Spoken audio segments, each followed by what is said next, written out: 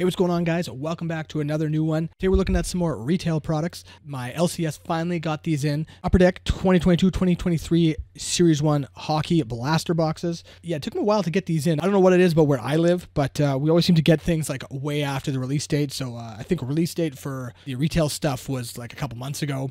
Uh, Wal- uh, even our Walmarts here took forever to get the uh, like mega boxes they have in. So I was in there today at the LCS and they finally had these in. So picked up a few of them uh, to give a nice little open review here. 30 bucks a piece for each of these. Definitely cheaper than they will be at Walmart for sure. Probably find them cheaper online. My LCS is never the cheapest, but I like supporting local, so I have no problem paying what they ask. So, like I said, probably cheaper online. I haven't really checked, but 30 bucks for these ones. Seven packs per box and eight cards per pack. And these guys, kind of as usual. I feel like it's a bit of a better value than the Walmart stuff. Like I said, Walmart's had the mega boxes for like a month, but at 50 bucks, that to me they're a terrible value because you just get get like what five packs and a set of rookie cards, whatever that no one cares about. So, um, not a big fan of those those boxes. Just not a big fan of buying stuff from Walmart anyway. Even though sometimes you have to because you're half the time the only ones that have some of this retail stuff. So is what it is. I've opened up a few of the uh, hobby boxes. I usually will say the hobby boxes are the way to go if you can afford to do a hobby box. Obviously, uh, you're guaranteed you know six young guns, whereas this one you're only guaranteed one young gun per box in here because they're one and four. So I mean, for hundred dollars with tax, we're only guaranteed three young guns. We might get four, but at least with the uh, hobby box, you're getting six of them for sure, right? Plus all the other hobby exclusives make the hobby box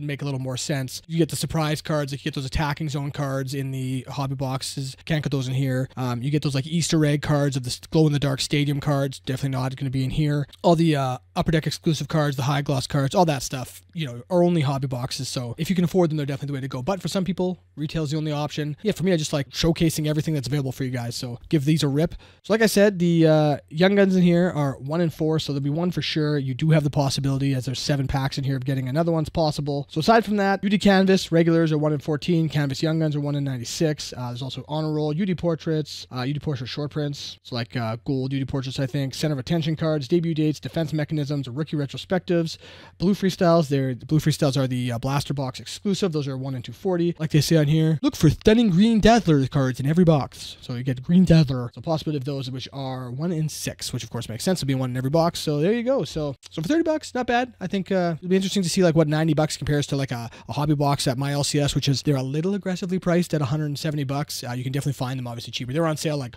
all week up until like recently at most hobby shops for like 124.99 or something like that. So it'd be interesting to see what a $90 compares to my LCS versus like 90 $100 blaster box versus you know an online price of a hobby box. So I think the hobby box will probably win, but you know it's fun to compare. So the only big young gun I still haven't pulled from all my Series 1 openings is Beniers. I haven't pulled the Beniers yet, so hopefully we can get Beniers. Any version of him I'll take. Uh, other than that, obviously, any of the big young guns, they're all still about the same. I think Rossi's fallen off a bit. Uh, Kochetkov, man. I've had at least two Kochetkovs. Uh, they both, I, I will sell my young guns usually, unless they're like some really worth keeping. Usually I sell them to fund the next thing I'm opening, right? Um, I'm a hit junkie after all, not so much, not as big of a collector, more of a hit junkie. And I had two of those and they sold for like 15 bucks each, and now they're worth like 60 bucks. So we'll take a Kochetkov too.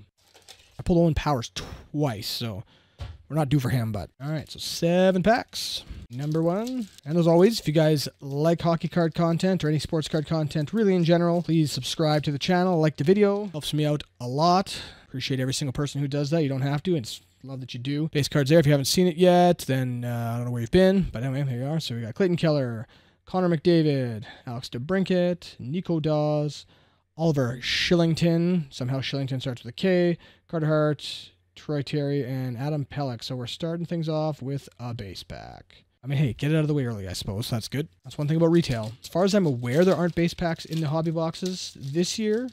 Um, I opened up an absolutely horrendous box of 2020, 2020, 2021. It's hard to say that. 2020, 2021 extended and uh, two base packs in there. That's an awful product. So I can't remember though. I have to double check if you can get bases of these hobby boxes. Anyway, Morgan Rielly, Cam Fowler, Jordan Binnington, Neal Pionk. There's a Young Guns checklist of Boldy and Rossi, Sean Couturier, John Carlson, and Mitch Marner. So nothing too special there. Just a checklist of the of the two good Minnesota players you can get Young Guns of.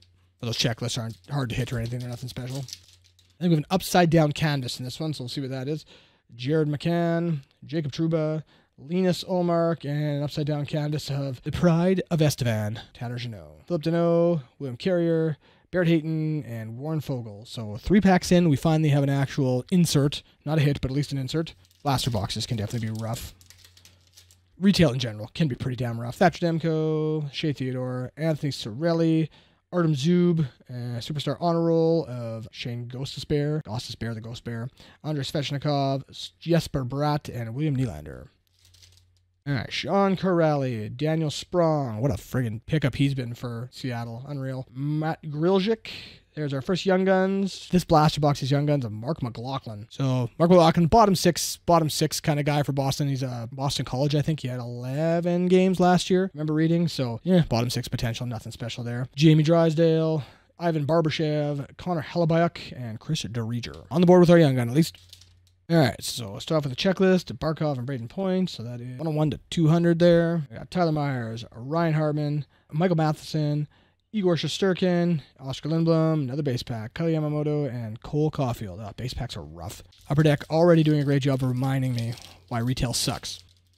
Frederik Andersen, Jack Roslovic, Joel Armia, David Pastrnak, and there's our Green Dazzlers of Brad the Rat Marchand. Ooh. And Barclay Goodrow, Juuse Saros, and Zach Werenski. Zach Werenski. All right, blaster box number two. I guess we'll see. I guess we'll see if every blaster box has two base packs in it. That's rough if that's the case. Like most inserts are worthless anyway, but at least put one in every pack. It's like it's that difficult. Base packs, base packs in this day and age just shouldn't exist. I wonder they do base packs in football products like does Panini do base packs? Does Topps do base packs? I don't think I've ever pulled. Like I open baseball stuff occasionally, an occasional pack of football cards. I don't think I've ever hit a base pack in any of those products. Just upper deck being scumbags. All right, Blaster Box 2, pack number one. Mats Zuccarello, Anton Lundell, Alex Kerfoot, Alex Newhook, Defense Mechanism of Torey Krug, St. Louis Blues. You can't get gold parallels of this. This one's just silver. At least in hobby, you can get gold. I don't know about the retail, but Erik Johnson, Alex Killorn, and Jani Hakanpää.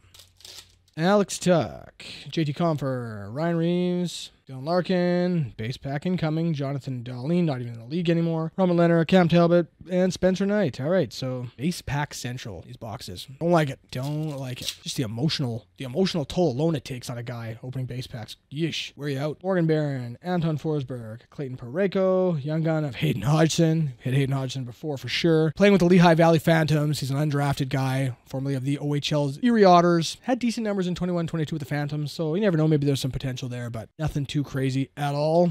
Anthony Mantha, Pavel Buchnevich, Brandon Tanev, and Jonas Brodin.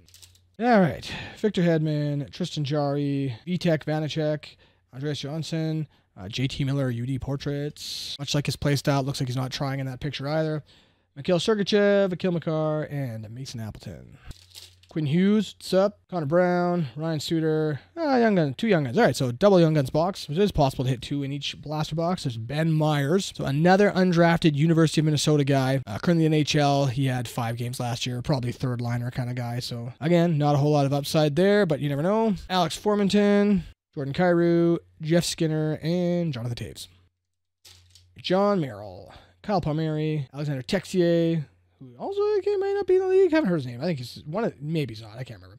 Jesper Fast, base pack, Alex Lafreniere, Filip Hronek, Brandon Hagel, and Jake Guentzel, big pack. Yay! It's just freaking cruel. Like just put an insert in the cards. I it's just I don't get it. For the millicent it costs to add an extra card in there, just do it. Even if it's not, it doesn't have to be a hit. Just a friggin' something, you know. Brendan Gallagher, Sonny Milano, Victor Olofsson, Nikolai Ehlers are Dazzlers of Mikael Granlund, Dazzlers Green, Alex Ovechkin, Nico Hischier, and Nils Höglander. Box three. So far, so not so great. Really, literally nothing to get excited about. In fact, less than nothing to get excited about. Very underwhelming. All right, Vasily Podkolzin, Philipp Kurashev, Brady Skjei, Stuart Skinner, Young Guns of Jack McBain. First Young Guns for the box, or probably the only Young Guns in the box. All right, so Minnesota's 63rd overall pick in 2018. And then the rights were traded to Arizona for a 2022 second round pick. So played 10 games last season, centering the third line with Matias Maccelli. So long development, but he's showing some potential. So I believe he is. Yeah, he's he's a mainstay on the team right now, third liner. So some upside, but again, nothing too crazy. Be third liner probably his whole life. And Cole Sillinger, Tony DeAngelo, and Jake Evans.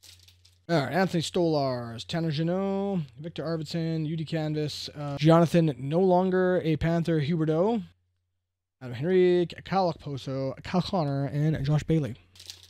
All right, Samuel Girard, Karel Vejmelka, Ryan Donato, Roman Josi, Kaapo Kähkönen, Alex Nedeljkovic, base pack, Tanner Pearson, and Jujhar Khaira. So every single blaster, I think, is the first base pack from this blaster. One, potentially two, uh, probably two. Hopefully this one only had one. As you can tell, it makes me angry the thought of two base packs for every box. Casey Mittelstadt, Trevor Moore, Milan Lucic, Kevin Hayes, Young Guns of Kaedan Korczak. So two Young Guns. So I mean, so we overshot our quota on Young Guns. So at least we can say that, even though they haven't been good. Drafted 41st overall, which is the second round. He's a big defenseman. Uh, he played in one game last year, Currently in Henderson. Not a very flashy guy, big defensive defenseman. So not not much offensive upside, but you know, a lot of times the defensive defensemen have long careers. So some staying power there. So guess we'll see but nothing too, as far as young guns go, nothing special. And Martin Necas, Darnell Nurse, and Jakob Silfverberg. So three packs to go. Still await our Green Dazzler. And we wait another base pack, I do believe. Lawson Crouse, Ilya Sorokin, Joel Farabee, Garnet Grr Hathaway, and Donnie Faber. Here's our base pack. Great. Mackenzie Weegar, Pavel Francouz, and a Nick Schmaltz. So, woo. Well, on the bright side, these last two packs won't be a base pack, or will they? Would not put it past Upper Deck at this point. Jake Muzzin, ooh, it's a Green Dazzlers. Drew Doughty, Jack Eichel, Anthony Duclair, Green Dazzlers. Timo Meier, Ryan Johansen, Henri Jokiharju, and Sean Durzi. Final pack. Expect nothing good. Anthony Beauvillier, Erik Karlsson, Lucas Raymond, a rookie retrospective of Jeremy Swayman. There's also in hobby packs, there's like gold and silver parallels of this. It's just like standard rookie, rookie retrospective. So Swayman had a great year last year, good playoffs, and this year is Ullmark's done most of the most of the heavy lifting there. Boston's amazing, but I think Ullmark's picked up most of the slack. Drake Batherson, Jason Robertson, Kale Petersen, and Brock Nelson. So there we go. So I mean, overall, I guess it's what I expected. Retail is retail is pretty freaking rough. I didn't expect that many base packs though. It's been a while since I've opened the last year's blasters, last season's blasters, and I can't remember if there are that many base packs. And maybe it did. Maybe just blocked it out, blocked it on my memory. As far as the inserts go, the inserts we did get, nothing crazy. You get your green dazzlers, you do canvases, you do portraits. Even the even the inserts I got aren't even great players. Freaking Rat Marchand. Like, come on. Inserts we did get are eh, boring. And then we least overshot our quota young guns one, two, three, four, five. So I mean, we were guaranteed three. We got five, so two boxes we doubled up on. So that could be worse, I guess. Look on the bright side, but uh, pretty much scraping bottom on these guys. I mean, there's one, two, three, four, five. There's probably five bucks worth of value there. So yeah.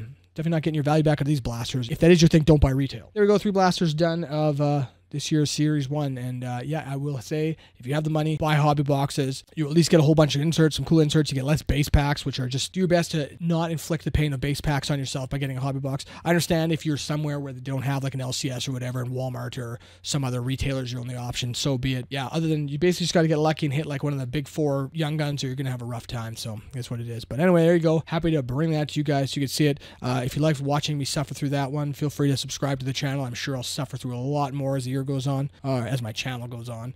We'll just continue to suffer because that's three quarters of the times what you do in this hobby. So thanks for watching this one, and uh, we'll see you in the next one.